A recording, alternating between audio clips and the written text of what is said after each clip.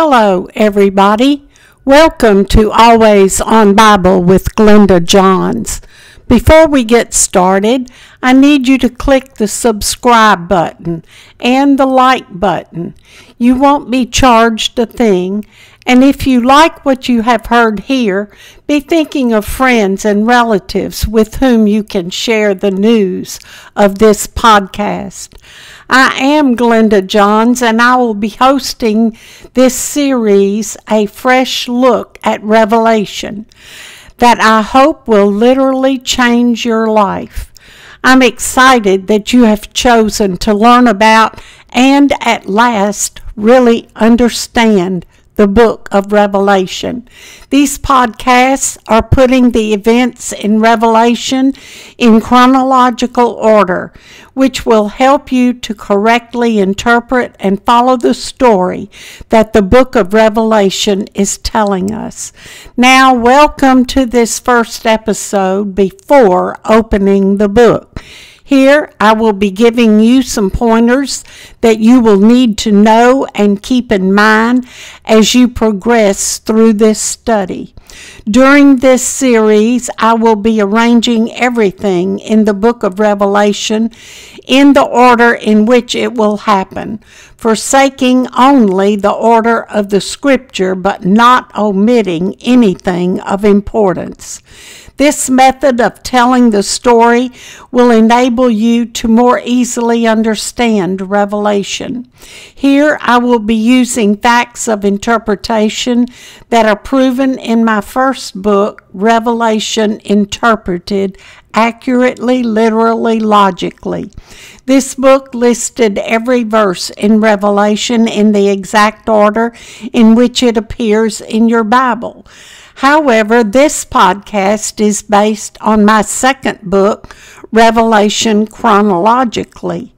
That book lists every verse of Revelation in the King, King James Version, but put into chronological order so as to reveal when it will be fulfilled.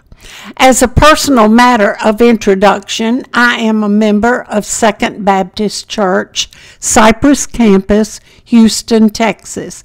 But before we get started, there are some basic things I need to assure you of. I will be using the futurist view of interpretation as my basis. That would include a pre tribulation rapture of the church, a very literal interpretation of the scripture, and the fact that everything in the book of Revelation after chapter 4 remains to occur in the future and is not yet fulfilled. Number two, all quoted scripture references are from the King James Version of the Bible. I will not be repeating other published ideas of how these events might be fulfilled in real life in the future, but I will set forth here what has been revealed to me based on the technology we have today. Number three, I will be teaching you what I received from God. These are not my own ideas. When the Holy Spirit showed me something, I would test it against other scriptures and common sense reasoning before deducting it to be true and accurate. When I started out writing my Bible study on Revelation, I intended not to contradict or disagree with anything that was generally accepted today as, quote, correct interpretation.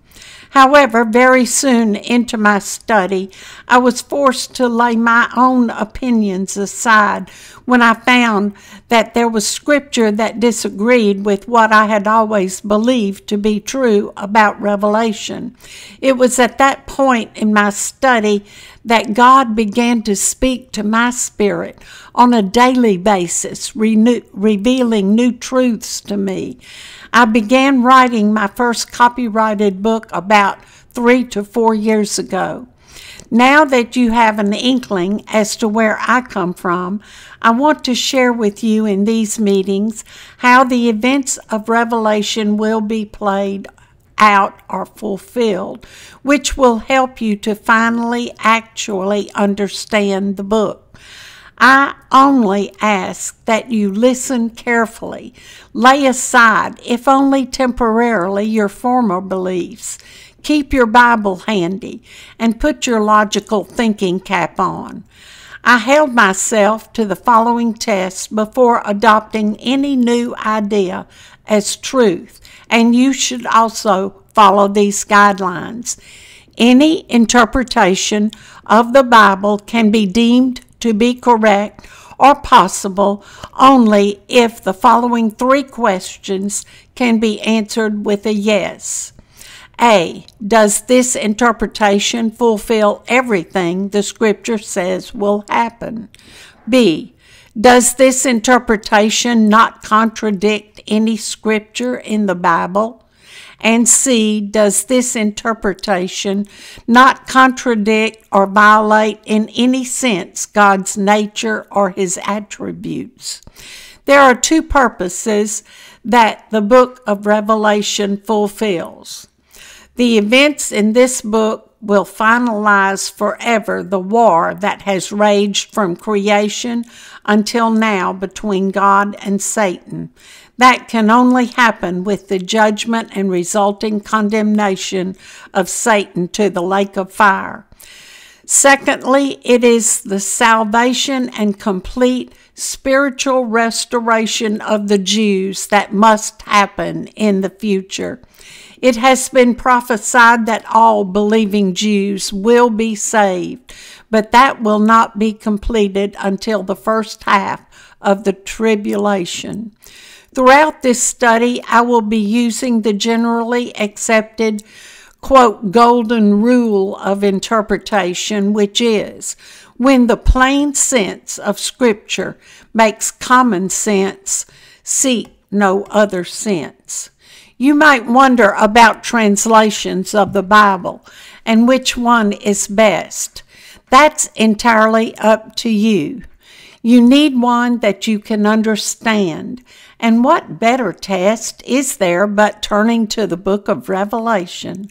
I use many translations, and I deem the New Living Translation to be one of the best for putting the scripture in today's vernacular. The King James Version sticks pretty close to the Greek, but it's hard to understand that King James English. All translations that are accepted by the church are good, and they are all God's holy scriptures. Now let's embark on our study, beginning with chapter 1 of Revelation. The first thing John does is set forth the signatures of this letter. Almost every book of the New Testament is in the form of a letter, and the signatures appear first. This letter is signed by the Trinity, by God the Father, by the sevenfold Spirit in Revelation 1 4, and by Jesus Christ, his Son, in Revelation 1 5. You probably have never heard of the sevenfold Spirit, but John had. It is explained in Isaiah 11 2 as the way in which the Holy Spirit speaks to each believer's spirit. When we are truly born again, this is the means by which we are personally united with God on a daily basis. The sevenfold Spirit of God is mentioned about four times throughout the book. Isaiah tells us of the seven ways the Holy Spirit speaks to our spirits. Number one, he identifies himself as the Spirit of the Lord and not some unfamiliar spirit. Notice then these next attributes of the Spirit are grouped in twos. Next comes wisdom that brings with it understanding. Anything that the Holy Spirit speaks to your spirit will be wisdom and truth, bringing with it an amazing ability to understand.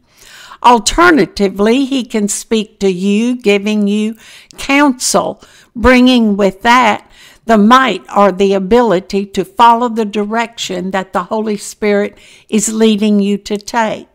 Next, he gives you added knowledge so that every time a choice arises, you will begin to learn him, his will, and where he wants you to go, and thus attaining knowledge. Finally, the leading of the Spirit always instills in us the importance of letting Him guide us through life, since in the end it is He who judges, thus putting a godly and holy fear in your heart. This ends the first episode. The next episode will cover Jesus' messages to the seven churches. I need you, though, before you leave, to remember to click on the subscribe button and the like button. And don't forget to share this podcast with those whom you love. This will enable me to continue to give you helpful insights in this study.